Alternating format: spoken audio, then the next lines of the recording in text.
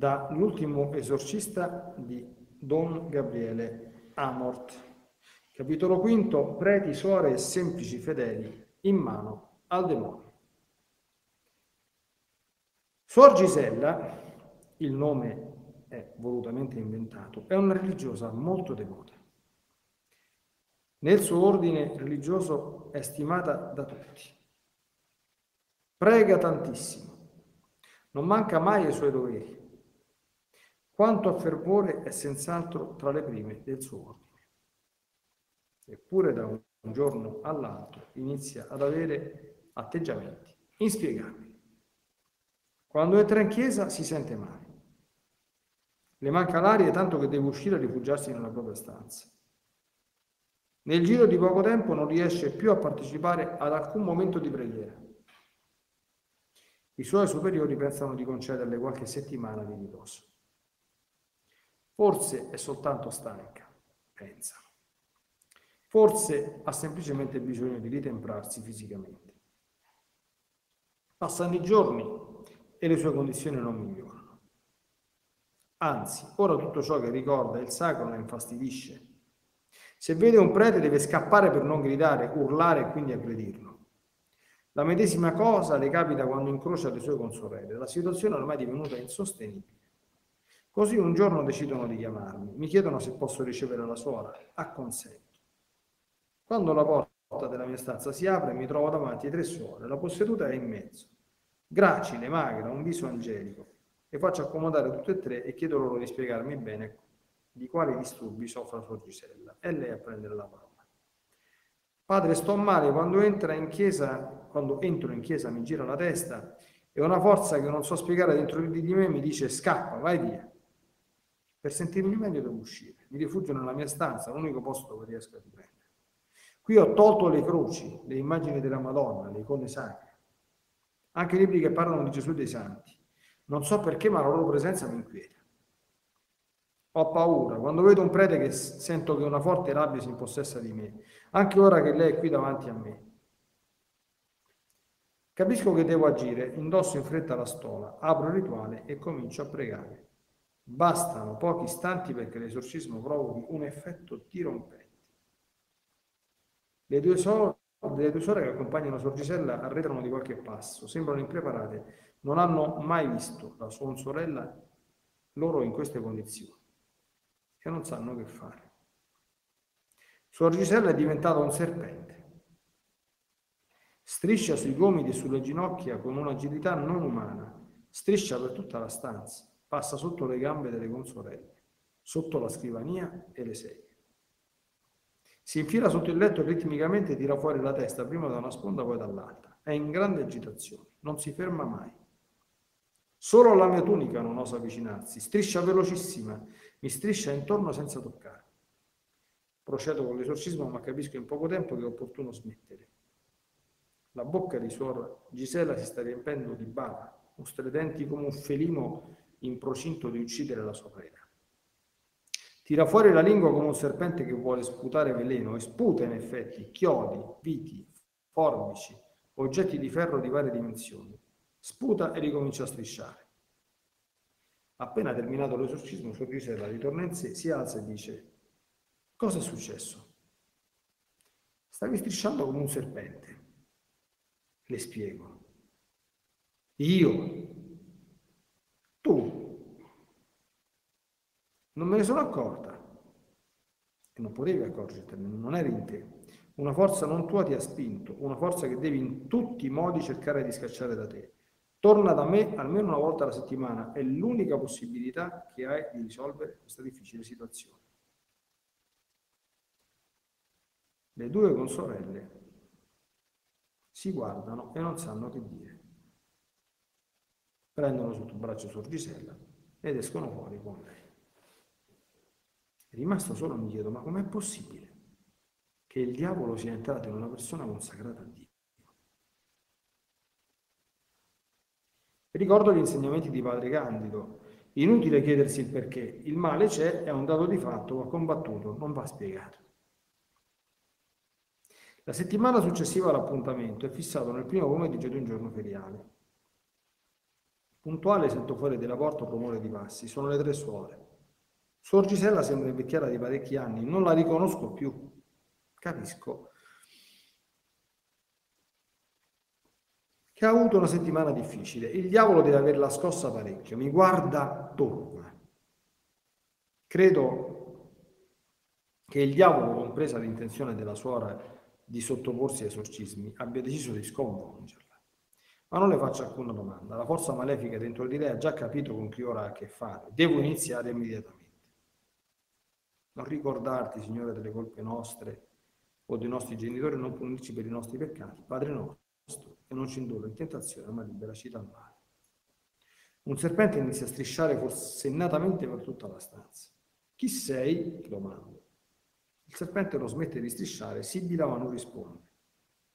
Nel nome di Gesù Cristo, dimmi chi sei. I gomiti e le ginocchia della suora sfregano sul pavimento, nulla sembra poterla fermare. Adesso pare una tarantola che avanza a piccoli ma velocissimi passi. Si ferma solo ogni tanto ciondolando con la testa ora a destra o a sinistra, per poi ripartire all'impazzata. Sto parlando con te, grido.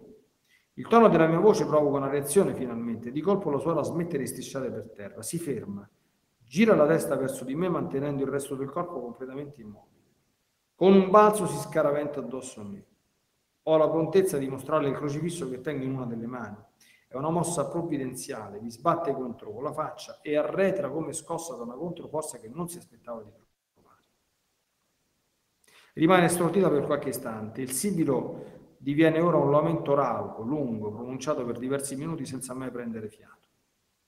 Adesso striscia per terra con meno agilità. Non osa più guardarmi. A tratti la sento quasi sospirare. Non mi faccio impietosire. Chi sei tu che osi stare nel corpo di questa figlia di Dio? Parla, dimmi chi sei.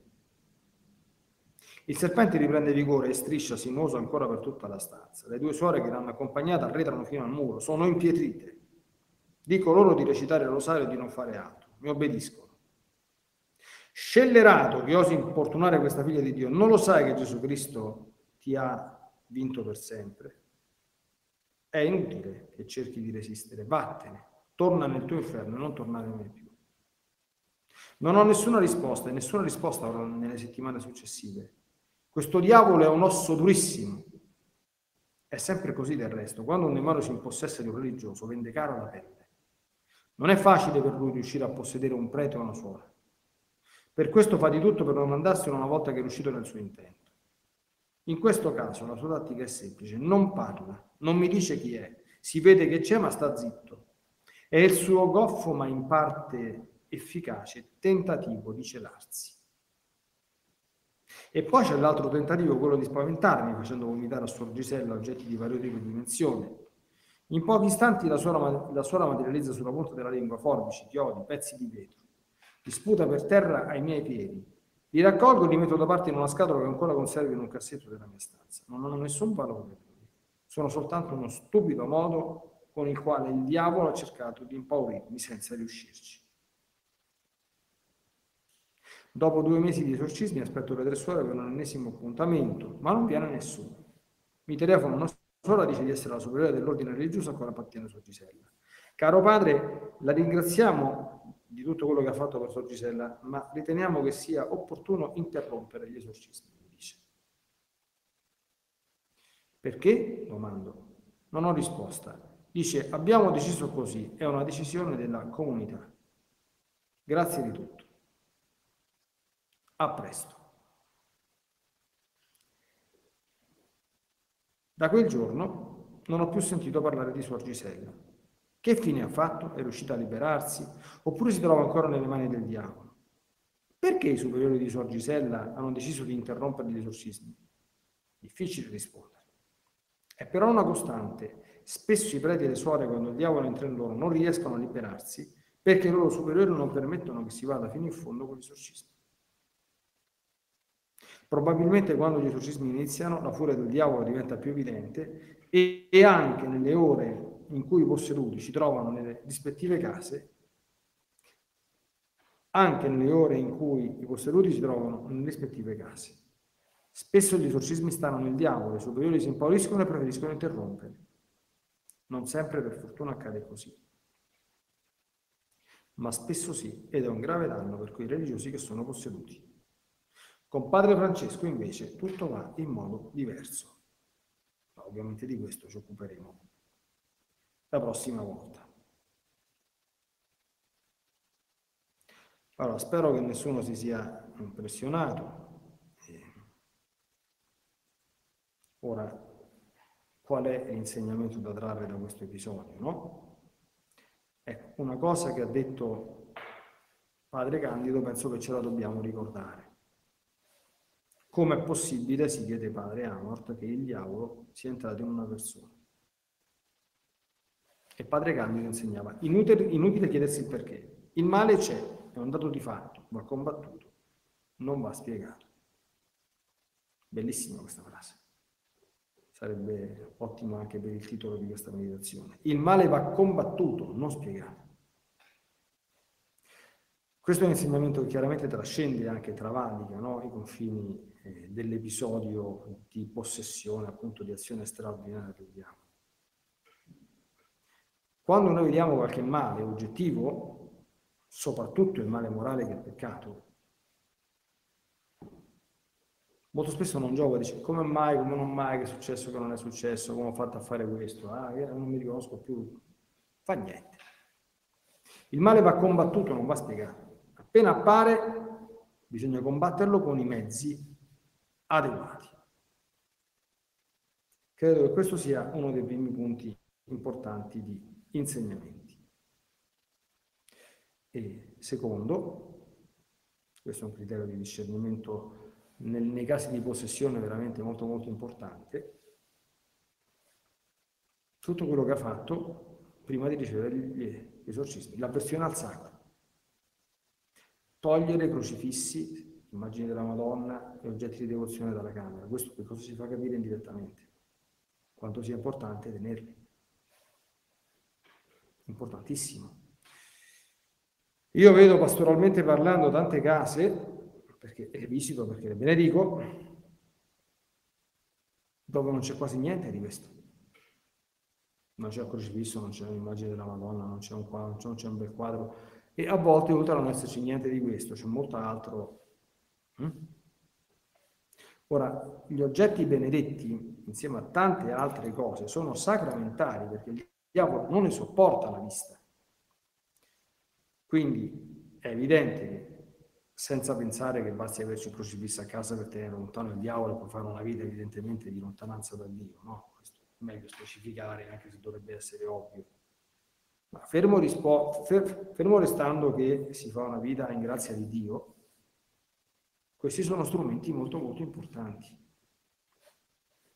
di lotta contro il nemico, di santificazione, fanno parte di quella categoria di mezzi di grazia oggi un po' dimenticata che si chiamano i sacramentali. Per chi crede a Meggiugorje, la Madonna a Meggiugorje disse portate sempre addosso un oggetto benedetto. Ma questo oggetto benedetto deve stare anche nelle nostre case e se volete un consiglio anche nelle nostre macchine, automobili, bel rosario, come l'immagine della Madonna, visto quelle, quelle medagliette se uno vuole che si attaccano al cruscotto, e ovviamente oggetti di questo genere sempre fatti previamente benedire da un sacerdote. L'ultimo insegnamento tratta dalla dolente nota della reazione